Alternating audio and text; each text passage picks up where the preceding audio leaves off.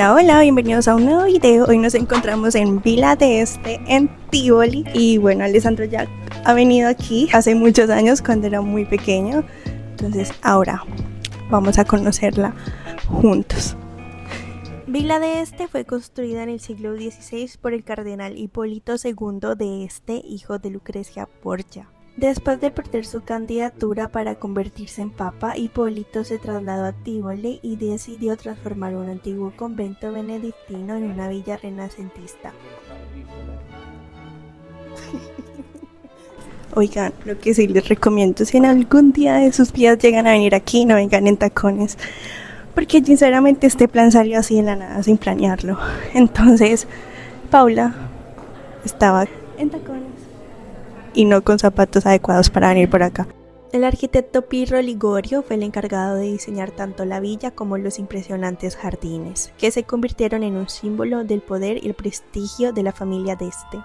El año 1550 es clave para Villa de Este, ya que fue cuando Hipólito II de Este inició los trabajos de construcción.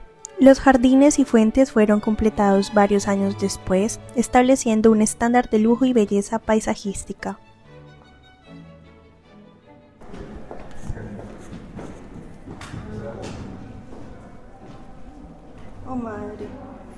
Las escalas son extrañas. Las escalas son así. Tú no me avisaste que veníamos por estos lados. Yo nunca me pongo tacones. Y ahí se me dio por ponerme y hoy precisamente vinimos por estos lares.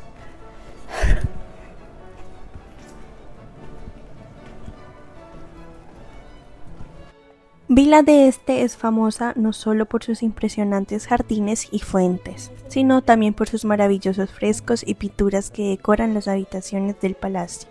Los frescos realizados por importantes artistas manieristas del siglo XVI reflejan temas mitológicos, históricos y religiosos.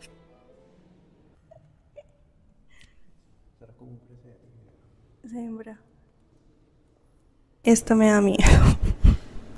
Te amo, medio. Esta es la sala de Noé, está decorada con frescos que narran el diluvio universal, resaltando la protección divina y la renovación de la vida.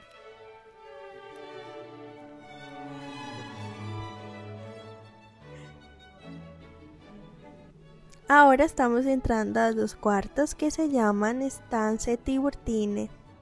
Durante los trabajos de restauración de Vila de Este, se descubrió pavimento de mosaico que pertenecía a una villa romana de la antigüedad. Este mosaico, que data de la época imperial, demuestra la importancia de Tivoli como un lugar de retiro para la élite romana.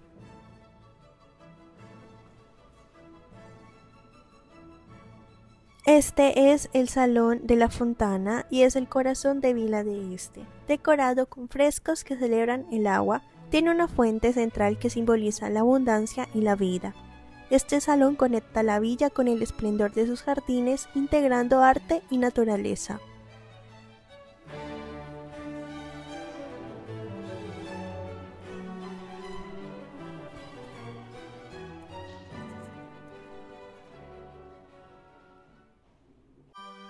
Ahora estamos bajando estas escaleras de caracol porque nos dirigimos hacia los jardines de la villa.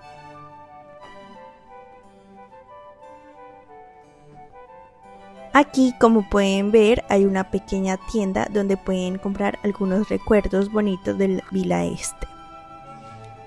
Aquí, por otro lado, les estoy mostrando la importancia que ha tenido esta villa en el mundo del espectáculo a lo largo de los años. Por su belleza ha sido escenario de muchos productos cinematográficos y musicales.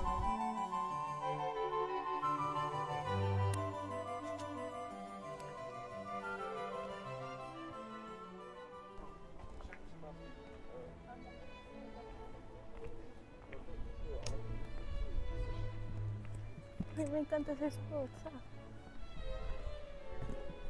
Es, es bellísimo.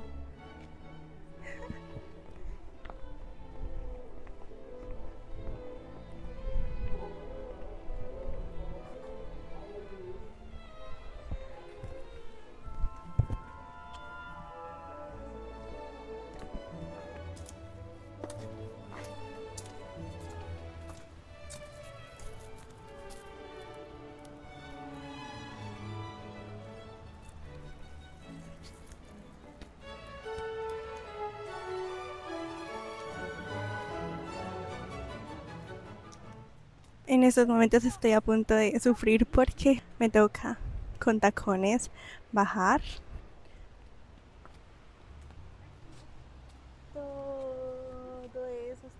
Por allá. Dios mío.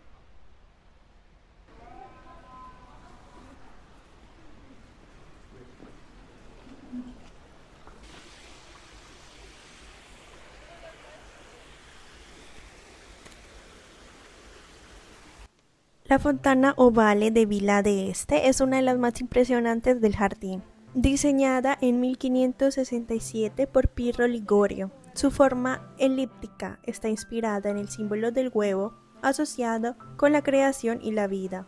A lo largo de su estructura, el agua fluye en cascada desde el centro hacia elegantes nichos decorados con estatuas. Vamos a entrar a este caminito que conlleva aquí dentro de la fuente, por decirlo así.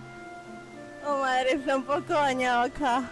Las rocas artificiales y las plantas que la rodean imitan un paisaje natural, mientras que el sonido del agua crea una atmósfera de serenidad invitando a la reflexión.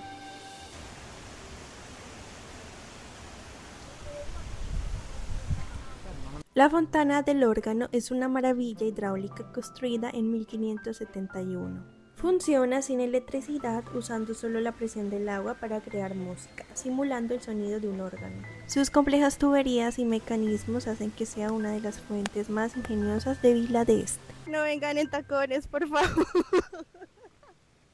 es que es culpa de Alessandro. No, señor. Sí, señor. Miren, yo nunca me pongo tacones. Hoy dije, ay, hoy me voy a poner tacones. Pero ni siquiera teníamos planeado que íbamos a ir por estos lares, entonces por esa razón estoy aquí sufriendo, bajando en taconada en estas escaleras, en este piso medioevo. Dios mío, esperemos que no me caiga.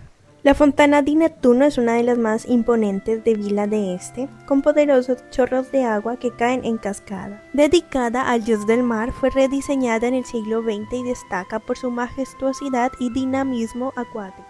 Sinceramente, el outfit que fuera escogido para venir acá era un vestido con flores, pero no lo tengo, o sea, es mi imaginación. Por una foto bien chic, bien top, pero no.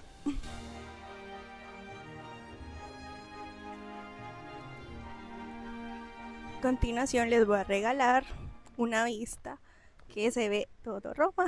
No se ve mucho, no sé, porque el cielo está como un poco gris. Pero bueno, espero que la estén viendo como yo la veo, porque en serio me da gusto poder transmitirles y mostrarles un poco Italia, Roma, los lugares que voy, para que los conozcan así sean por medio de una pantalla o cuando tengan la oportunidad de venir aquí.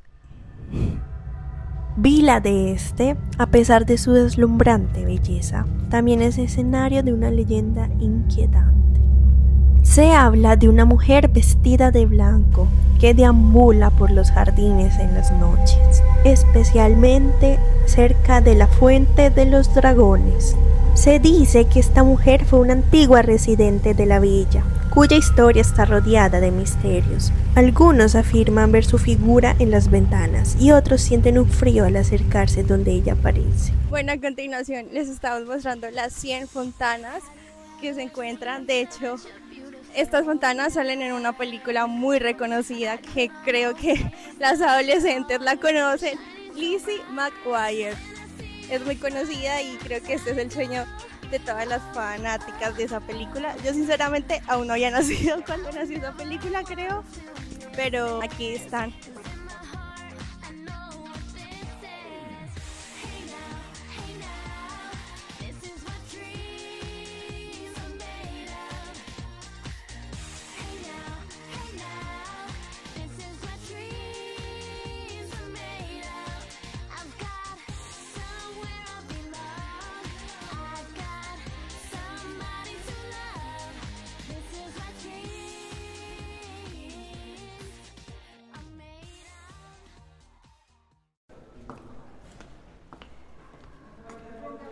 Bueno, ya llegamos al final de este video. Espero que se hayan divertido con lo que les mostré. A mí me gustó. Volvería, mm, depende. Si es para mostrársela a mis familiares, sí. Pero pues ya como que no volvería más. pero sí es lindo como para hacer en plan pareja, familiar, es entretenido. Eso sí, no vengan en tacones como lo hice yo, por favor, no cometan el mismo error. Y ya, eso es todo por el video de hoy, espero que les haya gustado mucho. Un beso, chao, chao, chao.